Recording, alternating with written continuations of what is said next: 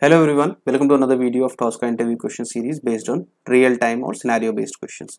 So today's question is going to deal around how to buffer a portion of the text. Okay, so let's take a look at the scenario. So basically I'm using this particular demo website in which if you go to this particular element and if you fill in all these fields you're going to get uh, something like this. Now our scenario is we have to pick this particular name. Okay like basically we have to buffer this particular value and use it in some other place okay? So now uh, if you want to uh, buffer only this particular portion uh, how do we do that okay? So let me get started with the scan. I'll click on scan application. I'll minimize this. And once this is loaded I'll click on scan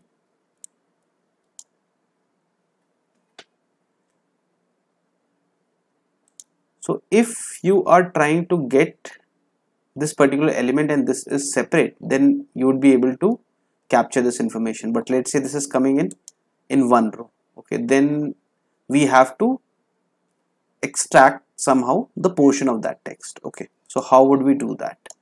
So here if I go to my module attribute and here if you see that this particular thing is unique but what it is taking it is taking id and then it is taking tag okay?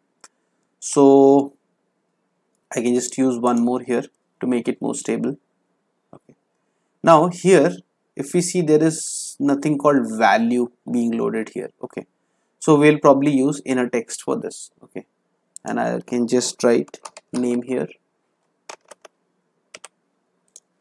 And I'll write uh, so this process is called dynamic buffering. Let me save it with this and I'll close this and we will take this particular module and create a test case. Okay. Now here if you see we have name thing populated here. Okay. Now in this if you see it is coming as name colon and this but we only want this particular thing. Okay. So what we would do here is we will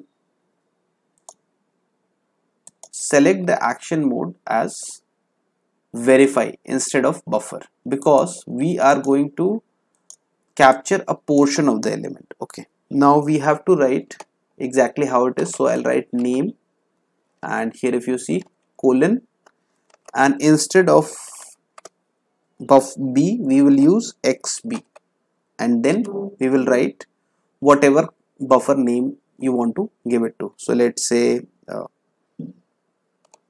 name to use or something like this. Okay. Just to make a difference between those two. Okay. Now from where this particular uh, property is going to come so we have taken a look. It is coming from inner text.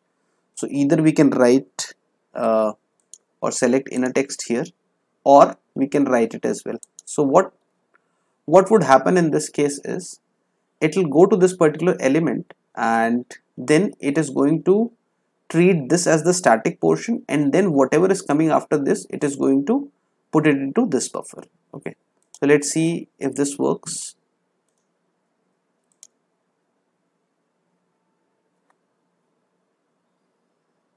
so this is very useful in case uh, we are going to get around situations where we have a whole text and we would just want to capture a portion of it. Okay. So if you see here in the execution you will see in name to use buffer IT education is populated. Okay. We can validate that thing here with buffer viewer as well. So if I'll click on this and here if you see this particular buffer has stored this value so we can reuse this okay.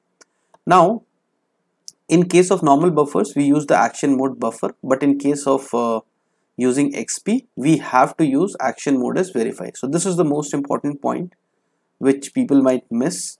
So uh, to take a note of this that we need to use verify mode. Now wherever I want to use this I can use this buffer now. So let's say uh, I want to use this buffer in in any other place. So you can just use this particular buffer name as normal as uh, curly brackets b and then this particular buffer name and you should be able to use it in your script. And this is how we portion uh, we buffer a, a portion of the static text. Now second thing is is this the only approach? No there is one another another approach. We have the partial text module as well in which uh, which we can use. So if you go to buffer operations here you have this partial buffer.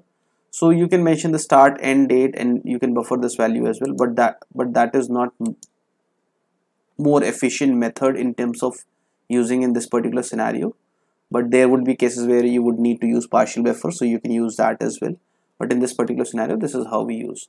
This is also one of the most important question which could be asked in the interview let me know uh, how you find my content. Uh, do like share and subscribe and have a great day. Thank you. Bye bye